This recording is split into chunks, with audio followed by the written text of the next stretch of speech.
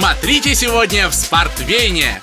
Футбольный Mortal Kombat по-турецки, приключения электроника по-молдавски и прыжки с трамплина по-венгерски. Спартвейн. Это будет весело!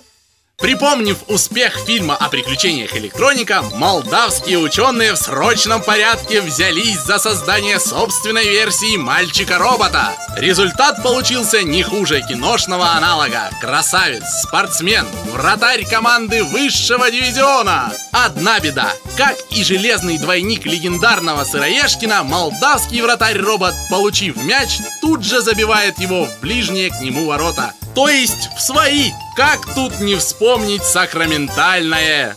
Чурбан железный, чтоб ты назрел. Ты худший из запасных пятого звена душат приступы клаустрофобии в хоккейном шлеме, а летящей шайбы боишься больше всего на свете, клуб анонимных хоккеистов собирает друзей. Приди и убедись, каким бы слабым ты ни был, у нас найдутся и послабее. А если нет, специально для тебя мы оденем в хоккейную форму фигуристов.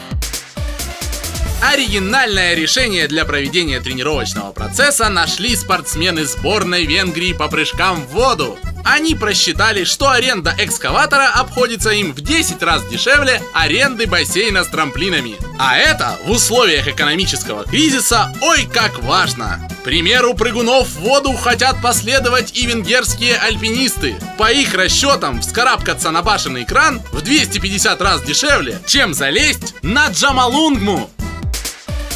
Не все те мишки олимпийские, что по стадионам ошиваются. Эту простую спортивную мудрость на собственном теле познала ямайская бегунья, которая по простоте душевной доверилась неизвестному косолапому после победного забега. А что было дальше, смотрите сами. Как говорится, в профессиональном спорте мелочей не бывает, даже если речь идет о мишках.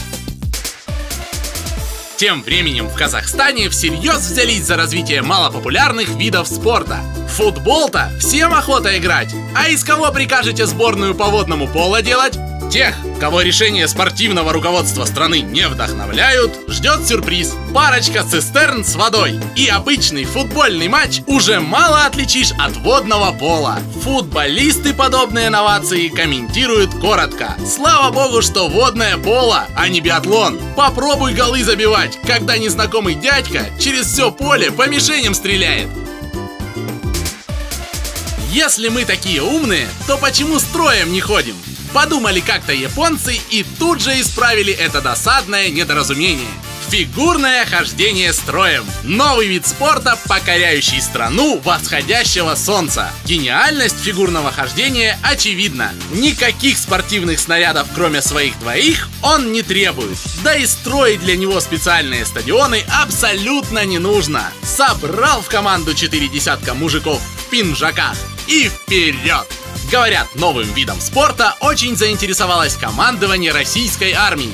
В планах генералов проведение в вооруженных силах России армейского троеборья, в которое вместе с фигурным хождением строем войдут художественная покраска травы в зеленый цвет и мытье плаца с мылом зубными щетками на скорость. Ух ты! 100 баксов кто-то потерял! Хотя нет, показалось. Фантик от конфеты козел какой-то на лыжню кинул. Узнаю кто, рога поотшибаю. Ух ты, 100 баксов кто-то потерял. Да твою мать через колено! Опять фантик! Поймаю, в снег закопаю гада! Эй, товарищ с конфетой в руках! Стой! Стой, зараза, я тебе говорю! Праздновать взятие ворот в футболе можно по-разному. Футболисты датского Норшелана делают это под девизом «Забил гол сопернику, забей до полусмерти пару-тройку товарищей». Зачем они это делают, наукой пока не установлено.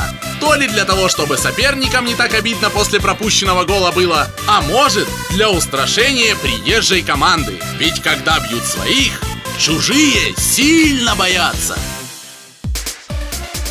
Продвинутые турецкие программисты разработали мечту любого мужчины. Помесь компьютерного файтинга и футбола. За основу был взят легендарный Mortal Kombat. Надоело футбол смотреть, выбрал бойца, а дальше, как говорится, погнали наших городских. Выбираем нашим бокового судью и вперед! Вот это удар! Соня Блейд и Сабзира обзавидуются! Вот, пожалуй, и все на сегодня. А дальше будет еще много интересного. Смотрите Спортвейн уже через несколько дней. Это будет весело!